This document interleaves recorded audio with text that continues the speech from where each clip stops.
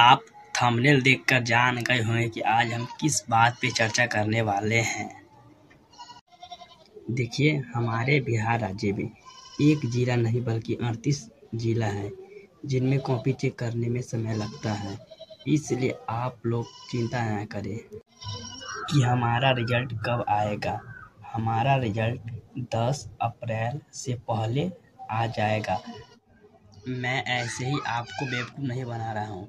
Bihar board द्वारा एक notice जारी किया गया जिसमें साफ़ साफ़ लिखा गया है कि 10 अप्रैल से पहले मैट्रिक और इंटर वा, इंटर वालों का रिज़ल्ट जारी कर दिया जाएगा। बिहार बोर्ड द्वारा जारी किया गया नोटिस आपको स्क्रीन पर दिखाई देगा। आप इसे स्क्रीनशॉट लेकर पढ़ सकते हैं। आप सबको बेसब्री से इंतज़ार होगा कि हमारा रिज़ल्ट कब आएगा। हम भी इस बार मैट्रिक का एग्ज़ाम देकर आए हैं। और रिज़ल्ट का इंतज़ार कर रहे हैं। ये हमारा आपसे वादा है कि 10 अप्रैल से पहले रिज़ल्ट आ जाएगा। धन्यवाद।